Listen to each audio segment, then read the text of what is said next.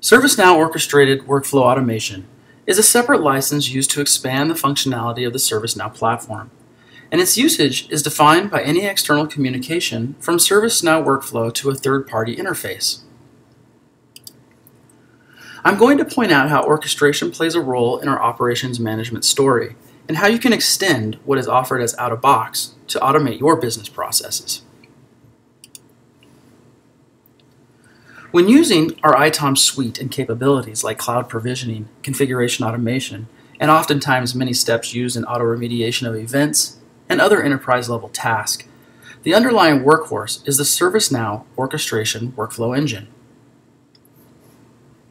All orchestration is run and managed and easily visible from our workflow operations dashboard.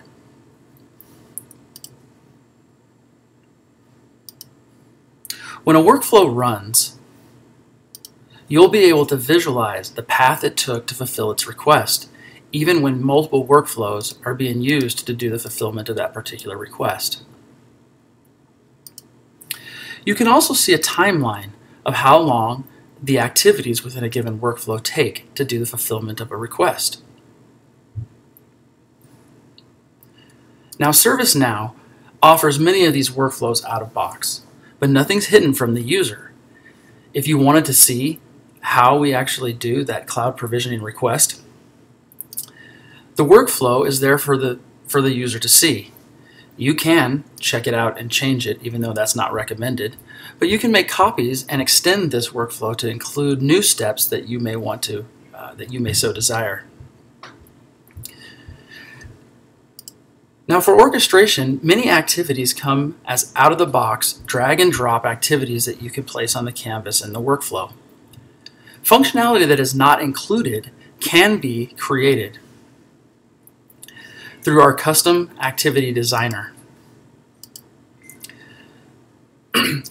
Once your subject matter experts create these activities, those that understand and know the process can use these activities by dragging and drop them into a workflow, into the workflow canvas.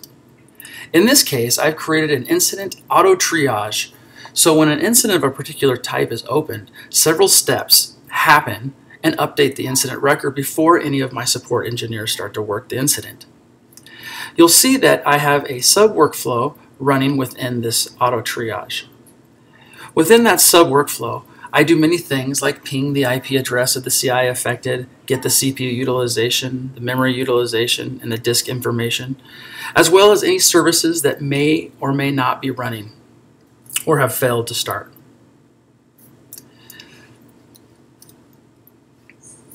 That way, when an event is created in a particular CI, an alert will be created. And that alert will in turn generate an incident that needs to be worked. And that incident will have workflow tied to it. So it will kick off and begin its auto remediation process before anybody even begins to work that incident. So hopefully these few things help you understand the role that orchestration plays in our overall ITOM offering. Thanks very much.